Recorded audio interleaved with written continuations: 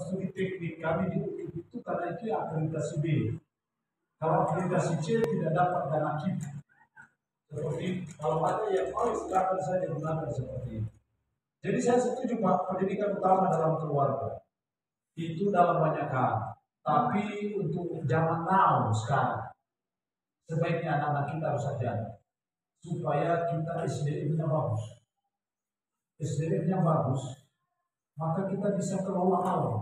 Di tingkat ASEAN, mereka paling tinggi per kapitanya. Karena apa SDM-nya? Kita, kita persoalan kita terbalik di Papua. Sumber daya alam yang melimpah, lalu siapa yang kelola? Semua bahan mentah tidak bisa dikelola di sini. Tidak ada SDM. Nah makanya kita juga di Papua ini kita orang tua yang perlu juga pikirkan SDM-nya. Supaya ke depan kita sendiri yang kelola SDM yang ada. Jangan yang dari luar, bukan kita mereka. Jadi perlu juga untuk pendidikan kalau bisa ya minimal sampai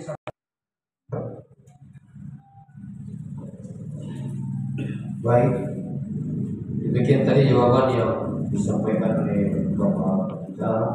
Ya. Untuk itu saya masuk pada termen yang kedua, hanya dengan dua orang penanya. Penanya yang pertama, Bapak PK, yang kedua Bapak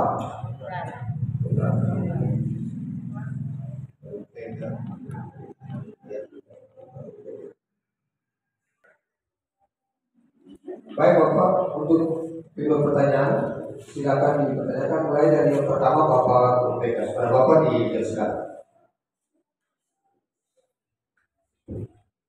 Baik, terima kasih Ibu ya. Uh, barangkali saya sepakat dan juga semua orang yang ada di sini, saya semua sepakat bahwa materi hari ini yang kita terima sangat-sangat bermanfaat ya, untuk lingkungan dan juga ke depan bagaimana kita bisa menjadi bapak-bapak ataupun keluarga keluarga yang baik terutama kepada kita. Dengan artinya bahwa penggunaan seperti begini itu. Dan kebanyakan kita di jemaat ini itu lebih memungkinkan kebanyakan dari ini jadi keluar kegiatan keluar. Ya, itu juga bagus. Tetapi menurut saya, alangkah baiknya pimpinan seperti ini harus diperbanyak. Ya, karena ini sangat bermanfaat sekali, Pak. Sangat-sangat bermanfaat bagi kita semua. Jadi karena itu yang pertama kita harus perbanyak pembinaan-pembinaan seperti ini dalam lingkungan kita sendiri. Itu yang pertama. Yang kedua, kalau kita berbicara soal miras, memang dari zaman perjanjian lama itu sudah ada. Dari zaman Nuh sudah ada, Nuh juga mampu. Ya. Kemudian Lot juga demikian. Ya. Sampai kepada zaman perjanjian baru, sampai kepada kita yang hidup ya, di saat ini. Ya. Nah artinya begini, bahwa tadi disampaikan bahwa memang miras ini itu merupakan senjata atau apa namanya strategi dari setan iblis ini yang paling ampuh memang betul disampaikan bahwa pendeta tadi betul.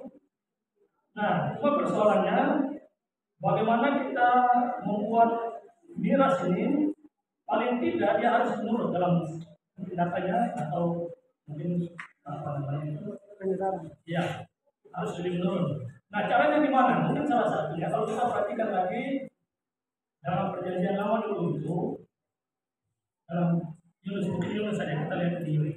Ya. Di Niniwe itu kota yang akan di oleh Tuhan. Saya percaya bahwa di dalam kota Niniwe itu masih ada namanya juga kemabukan dan sebagainya. Salah satunya. Ya. Nah dengan cara seperti yang disampaikan oleh Yunus ini bahwa semua orang Niniwe harus bertobat, berpuasa, tidak hanya manusianya tapi semua tandangnya juga berpuasa ini luar biasa. Ya. Nah, artinya saya mau bilang begini, bahwa untuk memberantas miras ini tidak mudah. Dari tahun ke tahun gereja bahkan mungkin juga pemerintah sudah mengusahakan bagaimana miras ini harus jalan. Tidak ada, tetap saja ada. Bahkan datanya terus meningkat. Jadi Bapak sebutkan bahwa hampir setiap kecelakaan yang terjadi di Sorong ini adalah karena miras.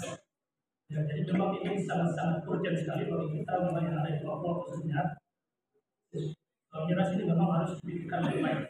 Ya, nah, barangkali usul saya, kita yang ada di sini semua kan amal Tuhan.